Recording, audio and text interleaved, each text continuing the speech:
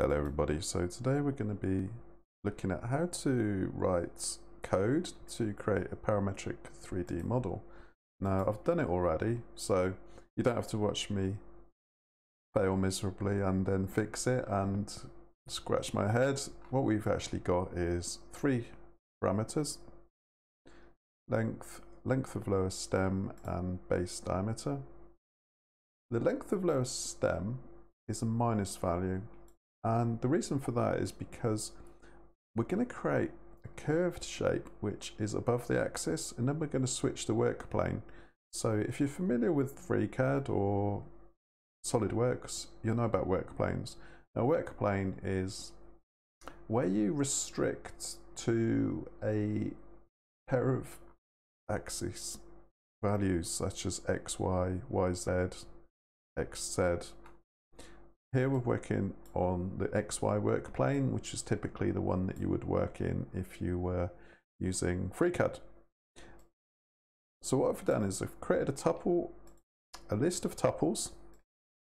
Some are parametric, as you can see. And then what we do first is we create, let me just um, explain what I'm doing with a nasty sketch. um, what we'd be doing is we're creating effectively shape like that, then we go up like that, and then we come in like that, and then we do that, something like that. And then we rotate it through 360 degrees, which will in effect give us a new shape, which will be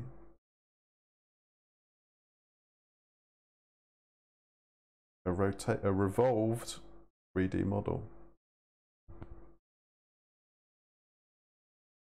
So once we've done that, we revolve the shape, result.revolve. Now, if you've looked at the CadQuery examples, you'll probably have seen other similar code, although nothing quite as uh, artistic as this. So result equals result.workplane. So each time you pass the result object from the previous operation, and then you modify it some more. So what we're doing here is we're saying result.workplane, and then we say cq.workplane. CQ is CAD query, which we've imported up here. And then we're going to specify right, which is actually, you can use right, front, or you can use X, Y, X, Z, Y, Z, and so on. It's all in the documentation, which is on CadQuery, GitHub page. Lots of examples. Offset work planes, rotated work planes. So if you look at offset work planes, there's an example here of you specify the faces or you can specify front. So there we go. We're going to be doing that we've done the revolve. So we've revolved our curvy spline shape. Then we're going to extrude the lower stem, which is basically a circle which we extrude. And each time you take the, the existing result object and then you just chain the period character more and more operations onto the end of it. And in fact, you could do all of these just as one long continuous command, but for readability and understanding, it's better to keep it separate. So what we're doing next is we're going to move the work plane and we're going to move it to the lowest, anything less than X. So we're going to, uh, if you were looking at on the screen, it would be the far left hand end. And then we're going to make a circle, we extrude it. The circle is going to be the length divided by 6 is going to be a diameter.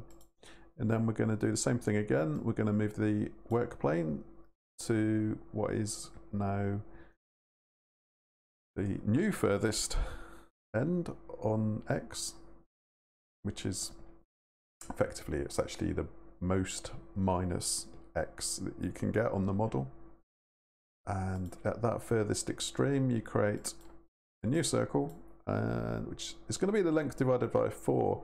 So that's actually a larger diameter than this one, which is what you want because at the bottom of a candlestick you want it to be larger than higher up and then extrude it by 1.5 and then at the end we're going to take that all of this and then we're just going to fill it where the faces are greater than x, where it, where x is actually zero anyway. So we're, we're going to fill it all the faces and then we're just going to cut through all. There are other cut commands and I probably should have used the other command here, but I can't remember which one to use. And exporters, we're going to export the model op1.step, that's output 1. Result is the object of, or the result of all of this. So that result is going to be sent to a step file. So let's run it. Python 3 candle.1.py. Good thing about this CadQuery is you get some output on the screen and it's telling us we've got 2,686 entities. And that's typically what you would want to be seeing. Let's check it in FreeCAD. You don't have to use FreeCAD, you could use whatever 3D modeling program you have. And I've set the height of this as 30, which is quite extreme really, um, to get a nice proportion model. As done. This is parametric, so as the height of the model grows, most of this will stretch in proportion. This grows in proportion, as does the diameter of this bit and this bit. So that's 30. If we close that and change Let's change the length to mm, 16. Run it again. Ah, I didn't recreate the model, sorry. Ah, this is, I'm going to need to, we've got the same model. Discard. Let's just rerun it. That's the only trouble doing this command line is sometimes you forget to recreate the model and you open up FreeCAD and you've got the same one as before. And let's just do FreeCAD op1.step. And we should see that the parametric model is much shorter. Yes, it's shorter. And the base has changed as well. Because as you remember before it was 30 units high and now it's 16 high. But the base and the stem have changed in proportion. And that's the whole point of parametric model. You don't want the half the model growing, uh, doubling in size, and then other bits staying as they are. Well, you, you typically wouldn't. There may be instances where you want certain things locked at a certain size.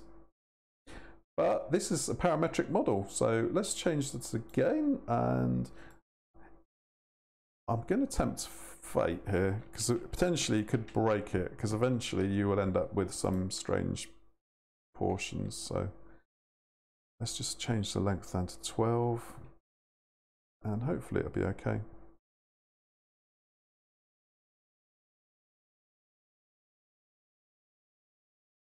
Yep, so you see we've got a very stumpy candlestick now. Now we've created three candlesticks manually or just by editing the code. But the whole power of this lies in being able to import potentially a CSV of hundreds and hundreds of lines of values. Now I've just used three here, but you could have five, ten, whatever, any number of variables, and all of those could be read from a column of a CSV file. And if you've got 2000 rows of values, you would end up with 2000 models, all different shapes and sizes, but they should all be in the correct proportion. So if you've got one customer that wants a candlestick six inches high, they'll get one. If they want a candlestick 24 inches high, they'll get one. And it will still maintain the proportions because we've kept this parametric. So the diameter of the base is based on the overall length of the candlestick. And what we have here is parametric model that we can use multiple times. And once we've written this code once, we can use it as much as we like. And with no human input other than running the script. So let's go back to FreeCAD and just admire the work one last time. And um, just for a little bit of artisticness, if that's such a word, we will just um, just do that. We'll go out and we'll make it perspective. And I think I can rotate it around a bit. And let's just make it look like it's made out of wood. So in FreeCAD, you can, let me see, you can, uh, texture mapping, there we go. And let's see if I've got any textures. I think I had some, but I might have deleted them. Um, pictures. Did I have wood? Can't remember if I had wood. Um,